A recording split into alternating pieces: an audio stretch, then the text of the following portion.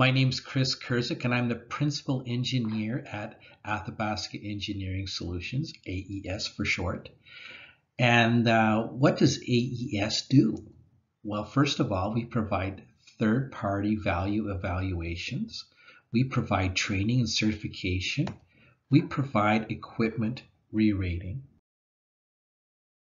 Welcome back to our next example of an MDMT problem found in Division 1 in the PTB4 manual. This is example uh, E3.2.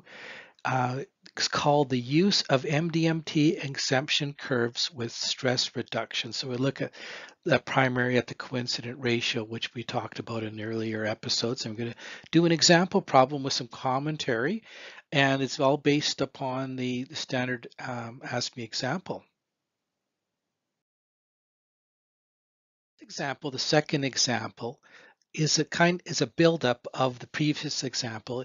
It uses the same vessel, except there's more information provided. Um, just like last time, it's a you know co-design division two. Oh, sorry, excuse division one. It's a post 99 vessel uh, materials, the component is cylindrical, the wall thickness, the corrosion allowance category type. All this is exactly the same as the previous example. And the, the new elements are basically shown in the in below in the orange. And, and basically, um, to do a more in-depth analysis, you have to know a lot more about the geometry of the components, such as the diameter and, and the conditions of the pressure and the joint efficiency and the allowable stresses. With with the previous example, you know, if you didn't need to take advantage of the stress reduction, then you've got a much simpler analysis. So that's the way uh, ASME is set up. That you know, and, and also API, they always start off with you know a, a very broad brush to see whether you need to continue to sharpen your pencil. So we'll continue. Just like the previous example, we, we go through all of the five exceptions to make sure that there must be met. In this case, just like last time, the material is a P1 or P P2 material. So, you know, if it's non, you know, non-ferrous or high alloy material, then you know, these curves don't apply, right? And so then, you know, if you've got thickness issues here, if you're very thin, you know, like a sheet, for example, then, you know, you can get an, you can get an exemption because we're thicker than that. Um, we don't pass, you know, uh, UG 20F, and, but we do meet the hydro test criterion and, you know, the thermal shock loading, we're not, you know, looking at that kind of analysis or cyclic loading. So, you know, um, otherwise, you know, but in our design temperature is is um, you know our MDMT is um, is very you know low as well. Like in the first example, we always start off with an example, and basically we have a step one here and we're using the UCS 66 curve in note 4. So this, when we follow note 4, of course, then we find, we look for the material that's applicable, and in this case it's SA 516 grade 7, which is a normalized, very tough plate, and it falls under category D. So there we go. So that's where we'll start. The next step that we follow is we look at the governing thickness of the part, figuring out what the thickness is so we can apply it to the USCS curve. And of course, we go through a series of figures. And, um, and in this case, we have a shell connecting to a head. And by the rules, we, we take, you know, this, this part or this part or this one. And so we end up taking this, this weld here, which is the, uh, the thickness of 46 millimeters.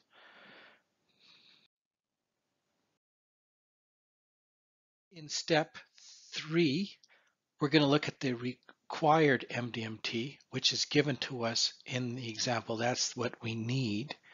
And from the vessel information we were given, uh, the, which was the arbitrary MDMT, is minus 29 degrees centigrade or minus 20, which is a very common um, MDMT requirement for non-impacted carbon steel vessels. Go to step number four, back to the exemption curve. As remembering last time, we were looking, we were over here and we established uh, the curve D and from figure you see S66 and uh, the required the MDMT that um, we get is minus 21.7 and um, it's warmer than the required MDMT of you know minus 29 so we have some more work to do. So uh, therefore impact testing is required. So let's just take a look at this. So we go to the the stress reduction ratio. It's also called um, a number of other things. We call a coincident ratio in uh, by others.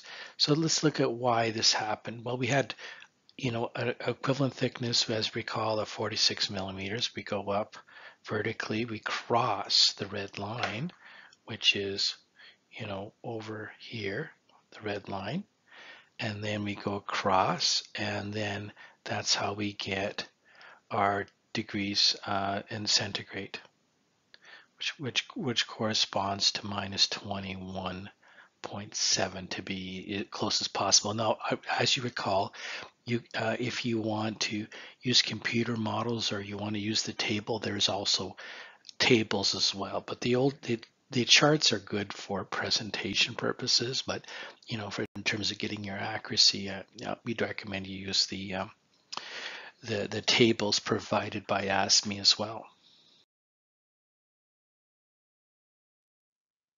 Step five stress reduction ratio, use figure UCS 66 uh, part two. Basically, we have our our require our ratio of our on the top is considered to be, you know, the stress that um, is available. Like the the if the part is very low stressed, then the ratio gets smaller and you get more credit. So again, uh, the, you know the, the, the T required, and then over top is the nominal thickness minus the corrosion allowance. So the the lower the ratio, the more credit that you can get because you're not uh, the part is less stressed. So let's let's do some more detailed calculations for this pressure vessel um, to determine you know, our stress ratio. So we're going to look at the longitudinal stresses in a cylindrical shell, and there's a standard standard equations that are used in back of of ASME, Section 8, Division 1. And we always start off with thin wall uh, stress theory just because it's the simplest of, of the group.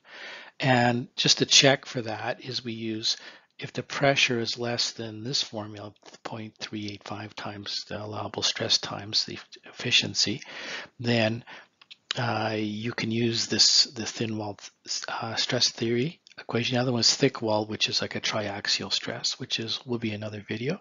So we have confirmed that. So we can use this ratio, which is the pressure over the, you know the corroded radius, right? And, you know, uh, if you need to, you can take the mill tolerance into account as well. And you have your, your allowable stress times your, you know, joint efficiency. and You take a little bit off of that for, uh, for a pressure adjustment. And, and basically that, um, that's a simplified equation from a very, um, a long one and uh, because it, takes into account the, you know the radiuses of the circle and and then you got your pressure and then your allowable stress at your MDMT and then your joint efficiency, right? So they the rules of ASME um, for pressure ratios, they never allow you to go below 0.8. Okay, so um, in this case, we have a joint efficiency of one because, you know, there was RT, there was a butt weld, and so on. So um, it's one. And so when we take the ratio, we get some credits like point point 0.8. Uh, it's a bit. It's not going to be below 0.35. 0.35, you get a lot of credit, but but but you're we're so close. Like we're uh, you know minus 21, and we need to get to minus 29, right? So this is a, a good strategy to use is to take take advantage of the unused stress in your part.